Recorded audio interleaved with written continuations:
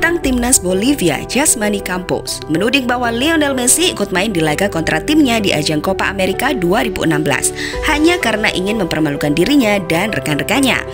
Ya, dalam laga itu sendiri Messi memang tidak bermain sejak awal.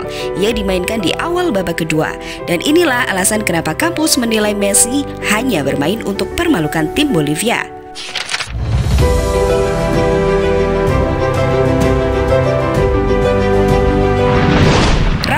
15 Juni 2015, Argentina berhadapan dengan Bolivia dalam ajang Copa America dan bermain dengan gemilang. Mereka berhasil unggul dari tim Bolivia 3-0 hanya di babak pertama saja. Padahal kala itu Messi masih berada di bangku cadangan. Tapi tunggu, memasuki babak kedua Messi dimainkan. Hal yang membuat para pemain Bolivia bertanya-tanya, untuk apa Messi main? Karena tanpa dia saja tim mereka sudah menderita.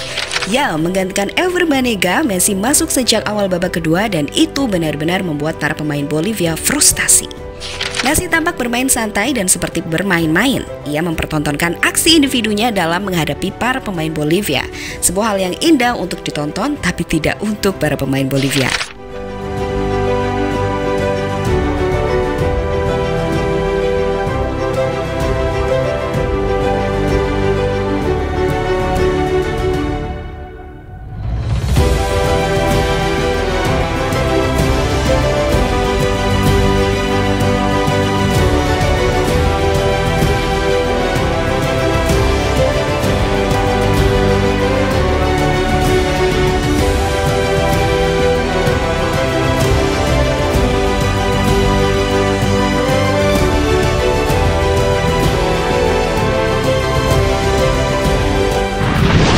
Bagi Campos, Messi telah merendahkan para pemain Bolivia.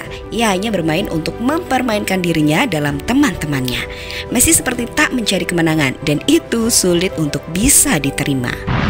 Messi masuk hanya untuk mempermainkan kami.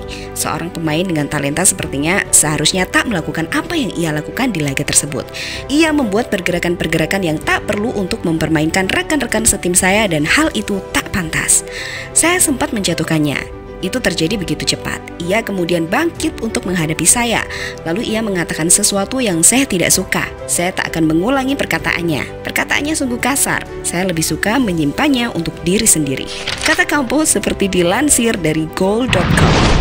Sementara itu, salah satu momen paling memalukan di laga itu yaitu saat Messi berhasil mengolongi kiper Bolivia.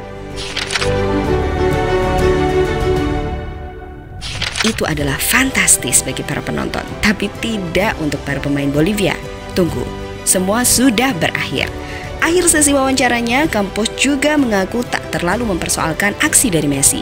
Ia juga menyebut bahwa Messi adalah pemain terbaik di dunia, tapi sulit untuk bisa menerima apa yang Messi lakukan.